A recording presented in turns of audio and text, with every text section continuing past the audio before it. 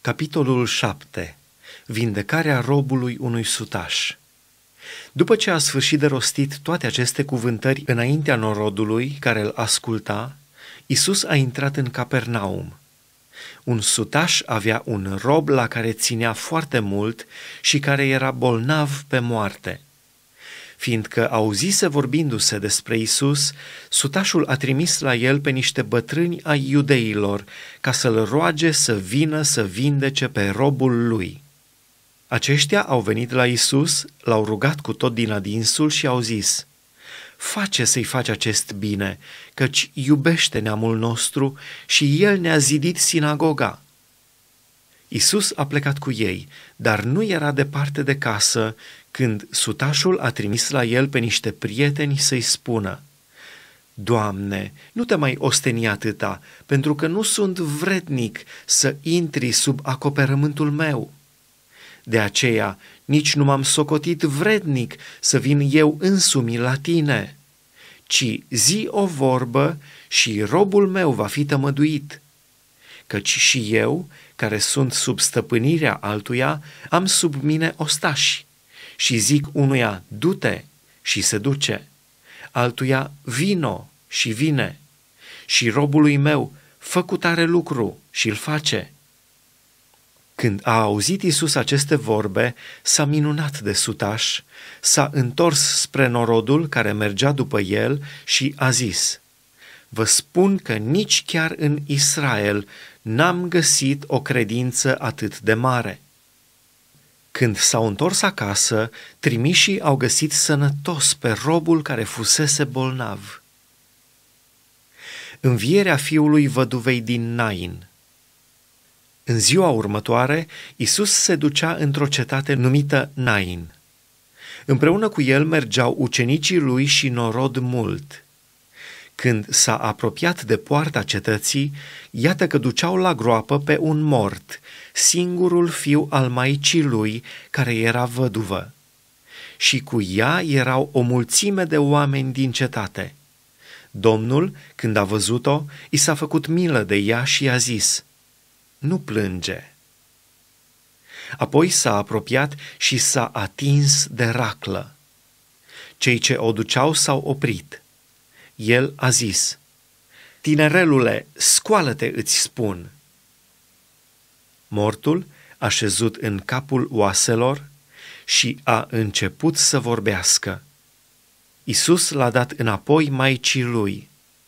Toți au fost cuprinși de frică, slăveau pe Dumnezeu și ziceau, Un mare proroc s-a ridicat între noi și Dumnezeu a cercetat pe poporul său. Vestea aceasta despre Isus s-a răspândit în toată Iudeia și prin toate împrejurimile.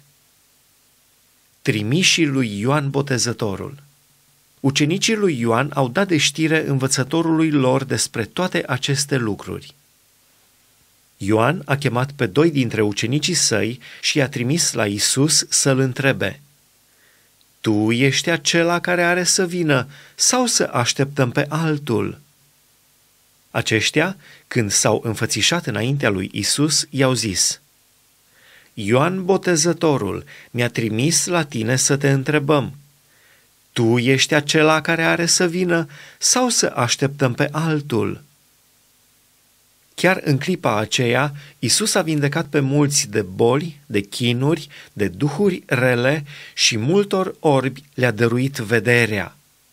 Și, drept răspuns, le-a zis – Duceți-vă de spuneți lui Ioan ce ați văzut și auzit.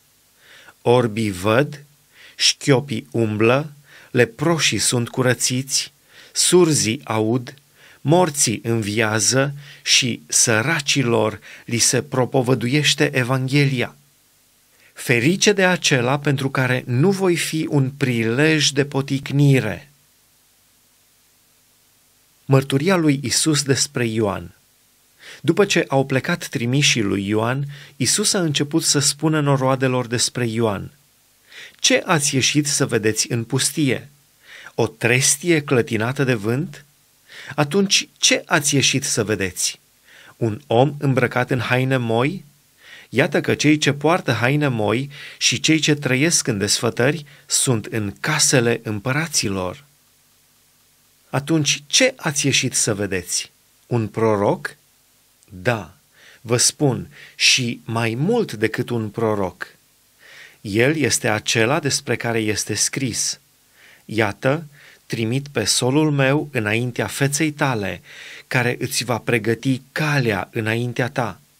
Vă spun că dintre cei născuți din femei nu este niciunul mai mare decât Ioan Botezătorul. Totuși, cel mai mic în împărăția lui Dumnezeu este mai mare decât el. Și tot norodul care l-a auzit și chiar vameșii au dat dreptate lui Dumnezeu, primind botezul lui Ioan. Dar fariseii și învățătorii legii au zădărnicit planul lui Dumnezeu pentru ei, neprimind botezul lui. Cu cine voi asemăna dar pe oamenii din neamul acesta? Și cu cine seamănă ei? Seamănă cu niște copii care stau în piață și strigă unii la alții. V-am cântat din fluier și n-ați jucat. V-am cântat de jale și n-ați plâns. În adevăr, a venit Ioan Botezătorul, nici mâncând pâine, nici bând vin, și ziceți, are drac. A venit fiul omului, mâncând și bând, și ziceți, iată un om mâncăcios și băutor de vin, un prieten al vameșilor și al păcătoșilor. Totuși, înțelepciunea a fost găsită dreaptă de toți copiii ei. Femeia păcătoasă un fariseu a rugat pe Isus să mănânce la el.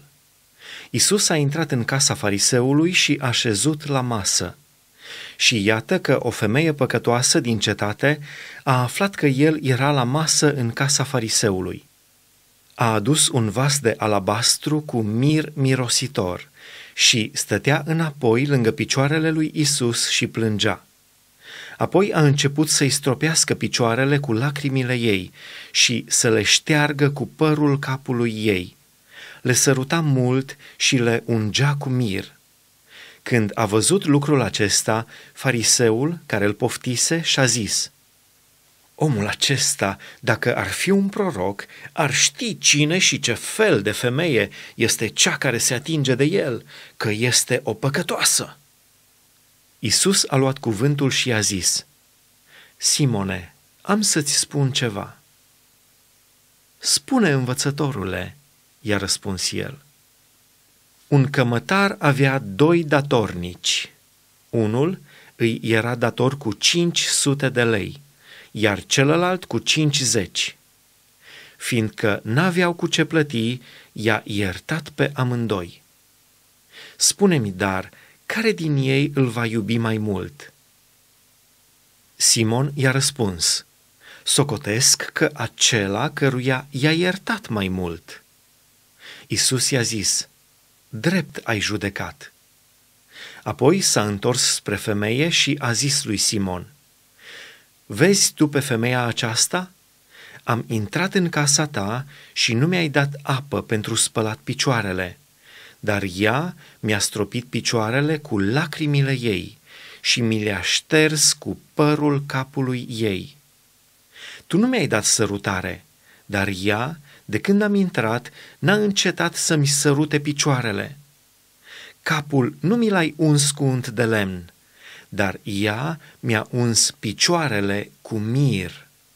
De aceea îți spun, păcatele ei, care sunt multe, sunt iertate, căci a iubit mult, dar cui îi se iartă puțin, iubește puțin.